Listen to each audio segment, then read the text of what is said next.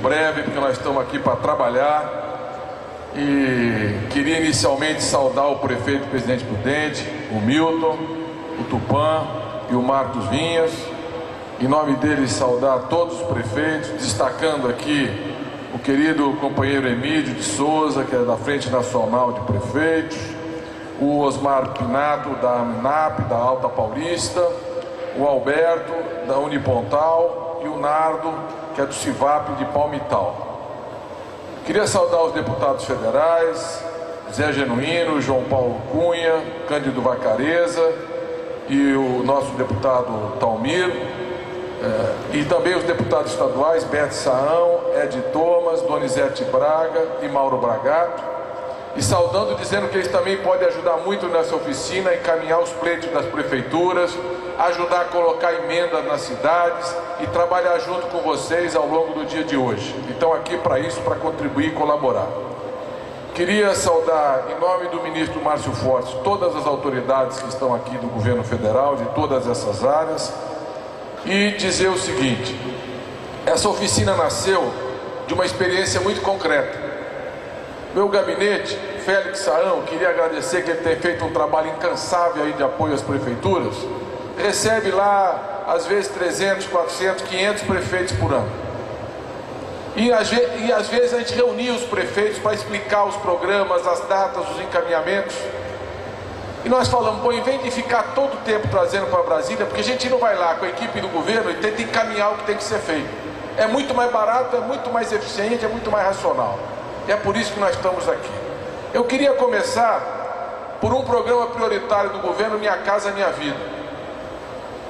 Nós nunca vimos nesse país 34 bilhões de reais, 16 bilhões de reais subsidiado para fazer casa para quem ganha até três salários mínimos.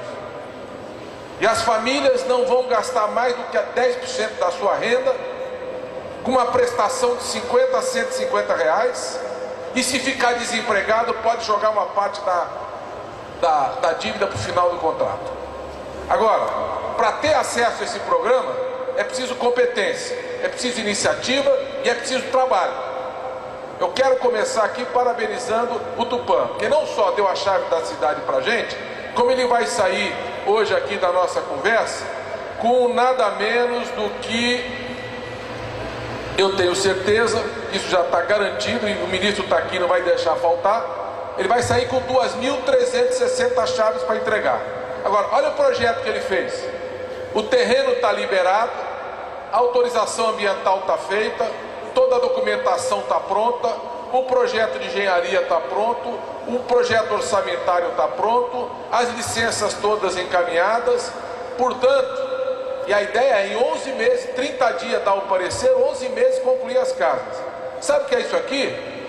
Isso aqui pode atingir 10 mil pessoas em Presidente Prudente que vão ter segurança social, lugar para morar, quando a pessoa muda na casa, vai querer trocar o fogão, se puder troca a geladeira, muda o sofá, sempre tem algum gasto a mais com a família. Isso é segurança, é conforto, é valorização da família, é um salto de qualidade.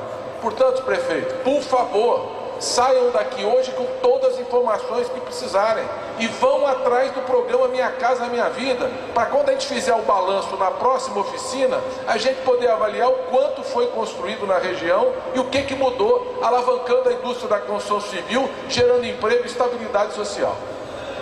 Quero falar de uma outra área muito importante aqui.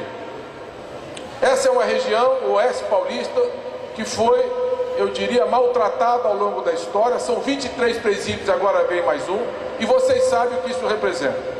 Às vezes um furto vira roubo, um delinquente vira bandido e as prefeituras não tiveram nenhuma compensação pelo ônus monumental que tiveram no espaço de 100 quilômetros.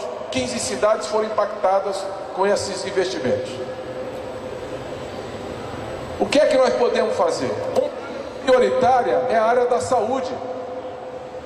Porque essas famílias que vêm para cá e os presos sobrecarregam o sistema único de saúde e não tem uma compensação nem na área da saúde para atender essa demanda crescente e que prejudica muito o orçamento da cidade.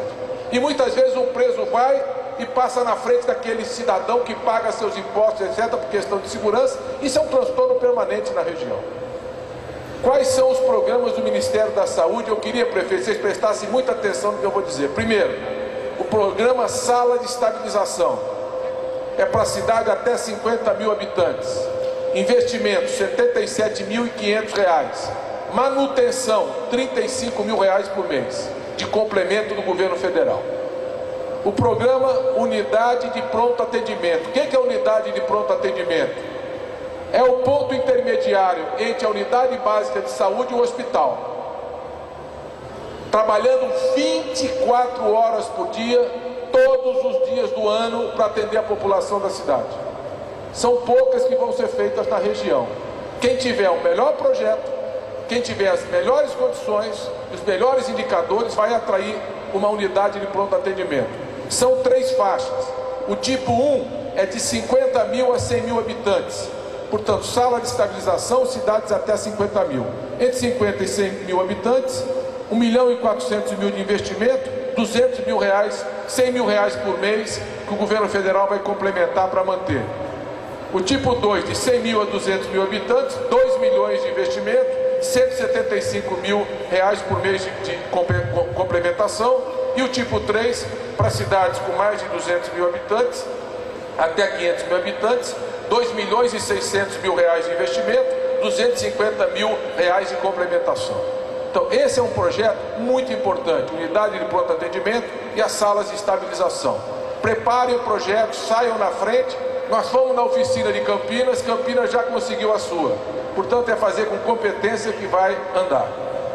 Eu queria falar, dar uma terceira informação que eu tenho certeza vai ser muito bem recebida por vocês que é o problema do fundo de participação dos municípios.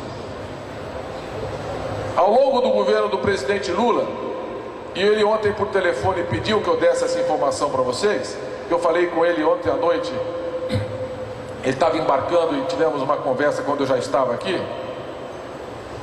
Ao longo, de, ao longo do governo do presidente Lula, nós aumentamos o FPM, o Fundo de Participação dos Municípios, em 170% a mais de recursos.